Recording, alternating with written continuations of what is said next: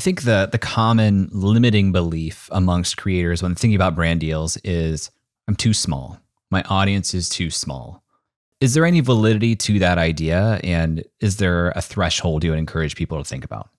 It's very much platform specific, I would say. Like if you are trying to go after brands who view let's say Instagram as their primary, you know, platform that they're they're themselves posting on, they're working with a bunch of other creators on that platform who are all at a similar level, then yeah, of course, like it's going to be very brand and platform specific based on that advertiser. But there are also lots of other ways that you can bring value to a brand, regardless of how many followers you have. I actually have a video on my YouTube channel called How to Get Subs- uh, Sponsorships with Zero Followers. You probably think this is clickbait, right? Is it really possible to get brand deals with zero followers? Of course it is. Let me tell you five ways to do it. Number one, stop thinking that the only reason a brand would want to partner with you is because of how many followers you have. Sure, there are some brands like that who say, oh, you know, you need a minimum of 10,000 followers to work with us. Fine, that's not the right brand for you. There are tons of brands out there where the whole whole point of the campaign is to use your content on their social media platforms. There are even entire sites set up like Tidal that facilitate these types of deals. So starting now, stop obsessing over how many followers you have and start obsessing over how your platform can serve as your portfolio. I wanted to illustrate that there's that your expertise,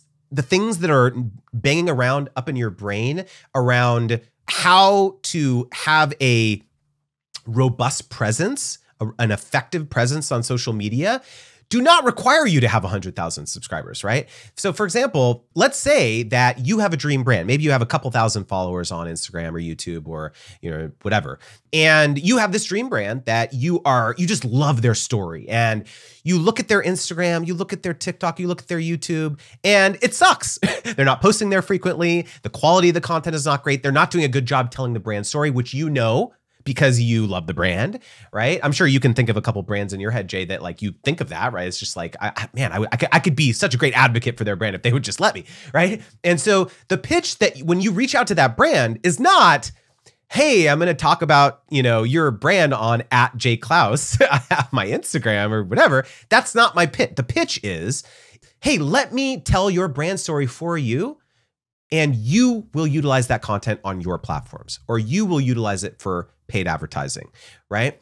And so, you, you know, posting on your platforms or in your newsletter sponsorship, that can still be part of the proposal, but the whole point of it is not about leveraging your organic reach or distribution on your page right? It's about how you can help them tell an effective brand story in a way that would be very difficult for either them to do it themselves or for them to hire a production company who is quite detached from their story who better than to do it than you and so like that's just like a very simple example of like how you can get paid a lot of money by the way because now you're saying hey i'm going to do this for you yeah it's going to be $5000 a month because it doesn't matter how many followers you have at that point because that's not the thrust of your proposal I love that. And I want to double click on it because I think that's a really important distinction that people don't understand. Like, th- there's a spectrum of brand deals. And I'm saying that mirroring what you're saying because I think I have a very limited view of what a brand deal encompasses. To me, it's hey, here's some money, creator. Post about us on your story. In your post, you have to make this many posts, and that is what this looks like. But it sounds like you're talking about a much broader spectrum of possible collaboration types, designs for creators. Can you elaborate on what some of those other types of brand deals could look like? Let's say, for example, I'm in your uh, Creative Companion Club, just give you a little plug there. And here's a pitch that you can make to Circle. You say, "Hey, Circle." I don't know if they have a TikTok, by the way, but you could you could say, "Hey, TikTok, uh, Circle. I noticed you don't have a TikTok presence. Let me make a series of TikToks for you, talking about how I'm using Circle for my community." And this is not going to live on at Jay Clouse. This is going to live on at Circle SO whatever on, on your TikTok. And so here you are, you're basically doing a takeover. You're helping them grow their thing. It's a real customer of theirs. And what like how freaking cool is that? To me, that's that's a sponsorship, that's a brand deal. And like how thrilled will they get about it because now basically what you're telling to them is you're you're saying to them that I'm going to rely me Jay Clouse I'm going to rely on my expertise in growing community in you know creating compelling content I'm going to help you tackle this new platform that I think is going to be important for the growth of your business, uh, but you're not doing anything about it right now. I'm going to help you. I'm you're basically a consultant at that point. You're I have this saying like you're not just a creator, you're a consultant because you're going into their business, you're identifying gaps in how you think they, you know, gaps in their marketing strategy, and you're pitching them on something. I, you should do that pitch, by the way, Jay. Like if you if you haven't already, like or anyone listening, I'm sure there's like an infinite variation of, of that idea. Yeah, I love that because you're you're expanding beyond I'm creating content about this sponsor for my channel to I'm creating content for this sponsor for their channel. And man, I actually had a conversation with a brand last week who I probably shouldn't name on the air, but they're a big brand. And they wanted name me, them, name them, okay, name them. um, they they wanted to license some of my course content, and they wanted to bring me in to talk with their users. And I was just like, whoa. And then she was telling me about how in the past they've custom built courses by hiring a four person agency to come in and produce the course. And the dollar signs just ringing in my head of like, that sounds incredibly expensive, so much more expensive than licensing my content and paying to bring me in. And these brands are doing this type of thing all the time. They're they're hiring people to create this content, agencies who are paying an entire staff so their rates are a lot higher.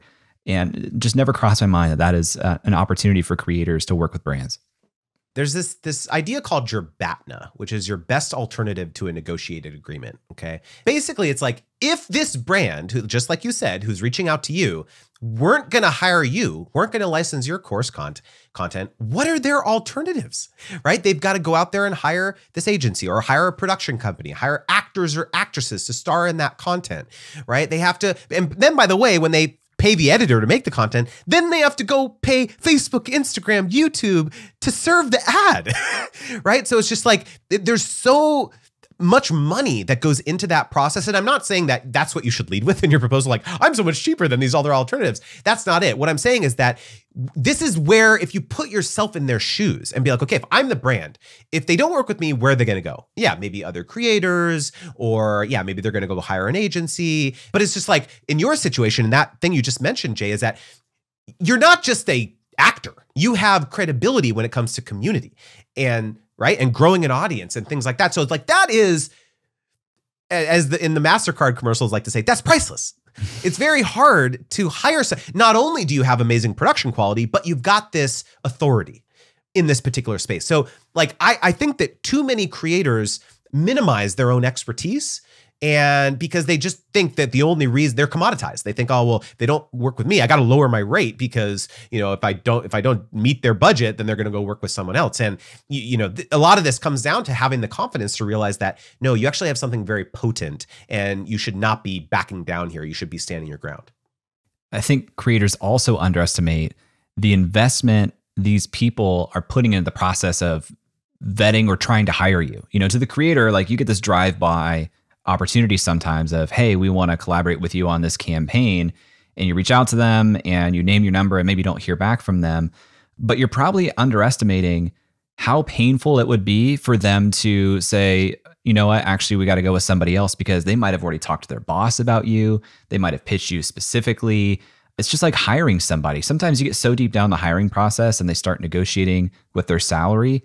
It's more painful to kill that process entirely, find a new candidate, and then have the same conversation again where you might get into the same negotiation again rather than say, you know what, this is a little higher than what I was looking for, but I can't not work with this person. So we're going to do it. There are so many other reasons why a brand would decide to pay you a higher rate than perhaps someone at a commensurate following or commensurate influence is charging that have nothing to do with what you think it does, right? So you're in your mind, you're fixated on your numbers. Oh, my open rates or my click rates or my followers or my impressions or whatever. That's because that's the world we all live in as creators. It's like that's how we measure our the success of ourselves, right?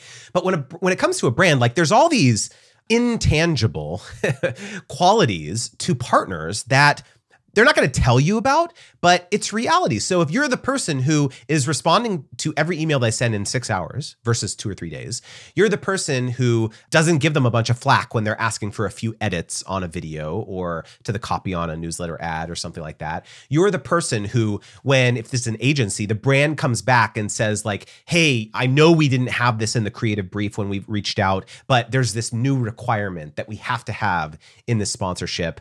I understand that it wasn't part of it, and you're the person who is like, yeah, no, no big deal. Let's let's make it. It'll take me like five minutes. I'll do a quick new voiceover.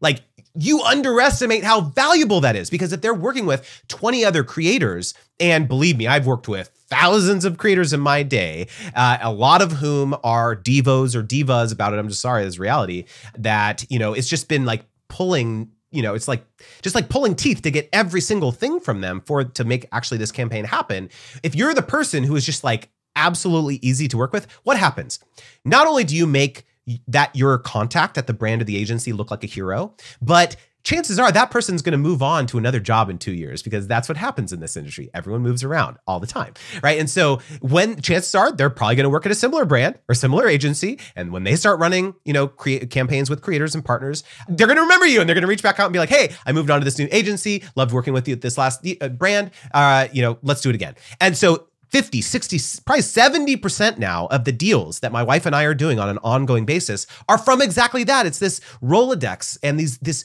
trail of amazing relationships that we built over the last decade. And yeah, our influence has massively waned in terms of our top level impressions and, and metrics and all that stuff, viewership, but we made the most money that we've ever made every single year since then, right? So it, like this this this yeah this is it's just a complete misnomer that you have to just like stay on this content hamster wheel and constantly you know have the same performance year after year after year